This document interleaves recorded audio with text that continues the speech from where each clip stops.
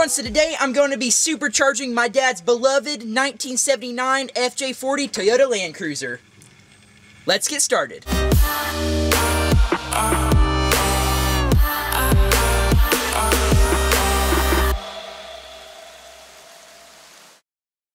So it's been my dad's dream to supercharge a vehicle. A while back, he used to have an old Land Cruiser just like this one, and he really missed it, so he found the 79 FJ40 over in Western Kentucky, and over the past few years, him and I have been restoring it and just bringing this thing back to life. So on eBay, my dad found this Paxton Novi 1000 supercharger. This is the smallest Novi series supercharger that Paxton makes, and it can make up to 10 PSI, but with this motor being from 1979 and being just an NA motor, we'll just run around 5 PSI and put some bigger jets in the car. This is more gonna be on the novelty side rather than making more power. It'll just be super cool to pop the hood and say that this Land Cruiser is supercharged. Another reason we are doing this supercharger is because this motor is already set up with a dual pulley system. So originally these two pulleys were meant for a smog pump that sat down here by the crank pulley. Basically that pump would run and it would puff air into each of the cylinders so the emissions would be cleaner out of the exhaust. Obviously we tore all that off and we put this header, this Weber carburetor, and an HEI distributor on it to just freshen up and give it a little bit more power. So as you can see, the smog mount is still sitting here next to one of the motor mounts. I would like to take advantage of this mount and use it for the supercharger. So my idea is to have the supercharger sit just like this in the engine bay. So the first thing I'm gonna do is use some CAD modeling,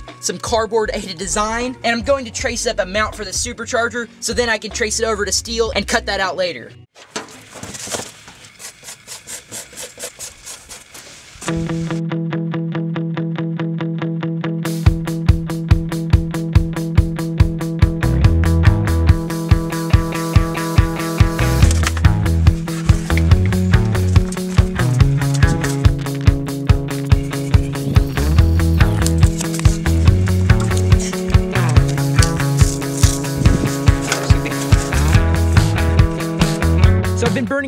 Trying to find a V-groove pulley that is 7 eighths of an inch with two keyways, but I'm really not having luck finding anything. So I'm actually gonna have my friend's dad make us a pulley. So I've written down the specs of what the pulley needs to be like. My dad and I are gonna run to town and get a 4x4 inch block of aluminum, and he's gonna put it into one of his CNC machines, and he's gonna make us a custom pulley.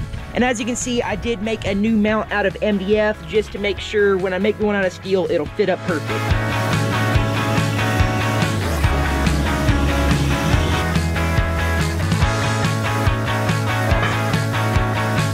So on the way back from the metal store, we stopped by my friend's dad's metal shop, Kenny's Pulling Parts. We gave him that block of aluminum and he put it onto one of his CNC machines and he made us the 7 8 inch drive V-belt pulley. This is a 4 inch pulley so it should work great with our 6 inch pulley that's on our crank. So now that we have a way to drive this supercharger, I need a way to mount it. I'm going to take this piece off, I'm going to trace it on a piece of steel, and then we'll cut it out with a plasma cutter, and we'll be ready to weld it onto the steel tube, then to mount on the old smog pump mount that's from the engine.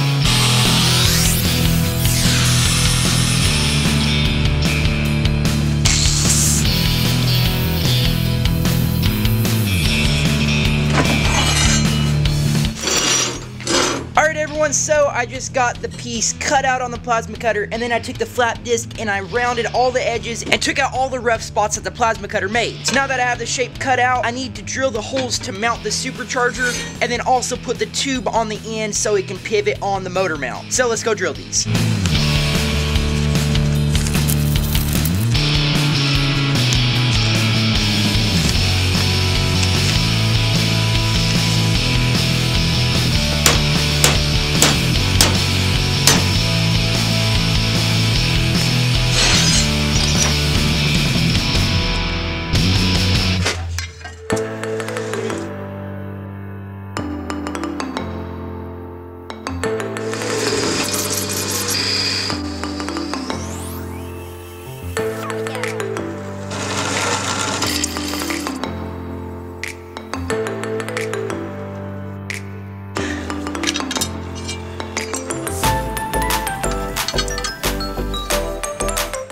Everyone, so now I have the holes drilled and the mount bolted up to the supercharger. So I have some of this thick-walled 3 quarter inch tubing. This is gonna ride right in between this mount that used to go on the old smog pump. Then I'll drill a 3 quarter inch hole in the bottom of this bracket and I'll weld this tube right where I drilled the hole. That way this supercharger can pivot and I can loosen and tighten the belt.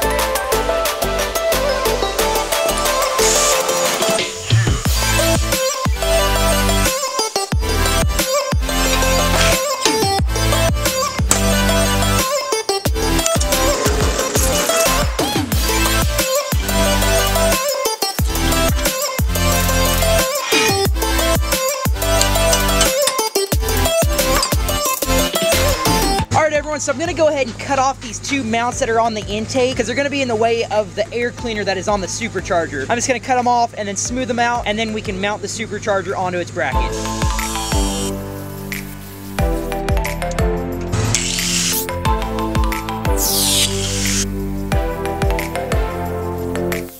Okay everyone, so now that I have these two mounts cut off, I went ahead and put the supercharger in here and it bolts perfectly to the smog pump mount. Right now what I'm doing is tapping it with a hammer back and forth to try to get this belt alignment perfect. Then I'll take it back out and I'll go and weld that tube to the bracket.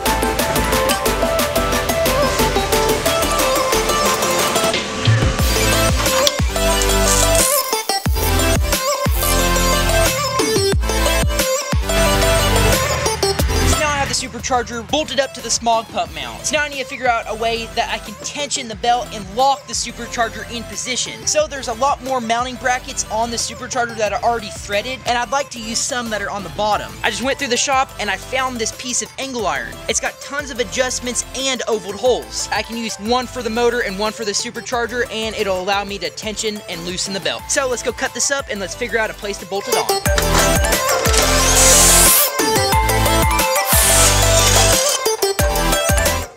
Everyone, so I went ahead and bolted up this bracket. I didn't film because it's really hard to get in there with a camera. But anyways, one of the bolts bolts through the slot and into the engine block, and the other bolts onto one of these tabs on the supercharger that are already pre-threaded. So as you can see, the supercharger has quite a bit of movement back and forth to tighten the belt. So now that I have the supercharger mounted and a way to tighten the belt, I need to take some paracord and I need to measure how long we need a belt to be, and I'll run down to the auto parts and get a belt. Hey Daisy!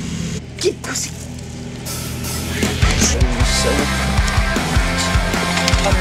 So, after a few runs to the auto parts store, I finally found a belt that fits the supercharger. I can go ahead and pull the supercharger back off, and I'm going to make a gusset for my bracket to get rid of the last bit of flex in my bracket.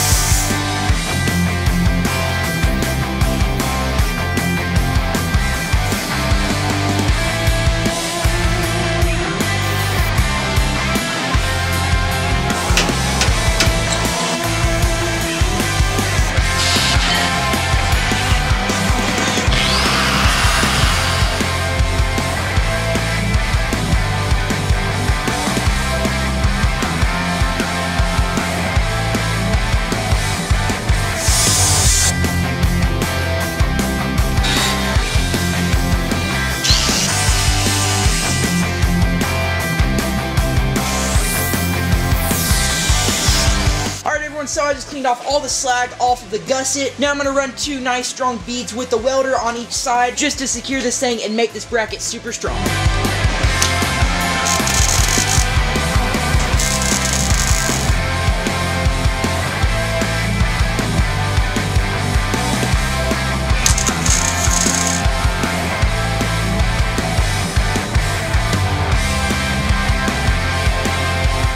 So now I got this thing welded, and then I just took the flap disc and I just cleaned up the splatter that the welder made. So now I'm gonna bolt it back up to the supercharger and put it on the Land Cruiser and make sure everything fits, and if it does, I'll take it all apart and I'll give this thing a nice layer of paint. Alright, so I have the supercharger bolted in, and it looks like the belt's gonna line up, so I'll fire it up and we'll see if we're making boost. Then I'll take it apart and paint the bracket.